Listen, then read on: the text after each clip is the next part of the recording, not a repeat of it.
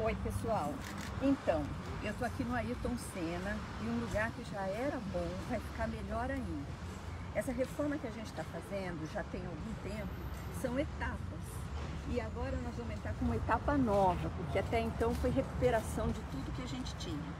Agora nós vamos entrar um negócio que é super bacana para as nossas crianças, capital da primeira infância, que são as fontes interativas nesse lugar quente como a gente vive, nada como água para que as crianças possam se divertir. Vai ter novo playground, vai ter academia ao ar livre, a pista de skate vai virar em modos profissionais, vamos recuperar da forma correta também a bicicross, ou seja, nós vamos ter ainda mais o que oferecer para as pessoas que vivem aqui nessa capital tão linda que é Boa Vista. Tá? Então essas são as novidades e a previsão de entrega é até abril do ano que vem. Tomara que dê certo de fechar na data certa. Caso contrário, demora um pouquinho mais ou quem sabe um pouquinho antes. Mas o presente de final de ano está aí. É presente de Natal para Boa Vista.